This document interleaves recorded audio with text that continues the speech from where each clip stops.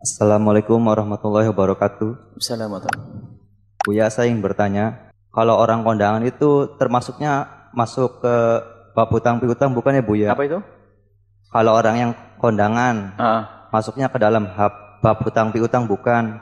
Soalnya di desa saya tuh banyak kalau kayak gitu tuh soalnya saling menagih-menagih tuh kayak hutang piutang Buya. ya. Mohon penjelasannya Buya. Assalamualaikum warahmatullahi wabarakatuh.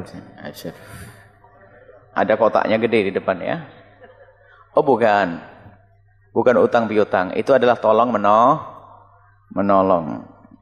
Tolong menolong. Jadi kalau Anda pengen ditolong, tolonglah orang. Jadi kalau ada orang menikah, Anda ikut bantu berapa ribu dan sebagainya. Kalau dicatat, dicatat. Enggak dicatat, enggak apa-apa kok. Dan enggak usah pusing. Saya dulu 10 ribu, sekarang balasnya 5 ribu. Enggak usah pusing, mau Anda nolong. Ah, itu adalah dalam irama tolong menolong. Kebiasaan yang baik ya. Itu adalah bahasa lain kayak arisan tidak tertulis begitu. Dan tidak terdata. Itu ta'awun tolong menolong yang bagus.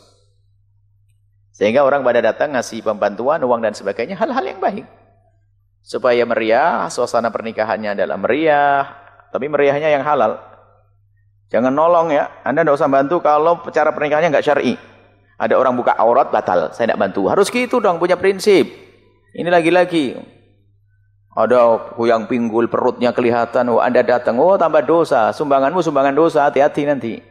Makanya Buya pengen bahwasanya acara-acara pernikahan itu adalah sudah diarahkan kepada cara syar'i, dibilah lagi perempuannya, tontonannya pun adalah yang terhormat. Sehingga yang membantu juga lega. Bantunya serba nggak enak nanti.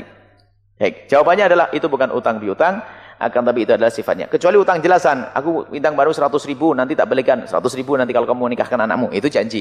Kalau ada perjanjian namanya tabarru, bantu membantu yang baik. Wallahu a'lam bishawab.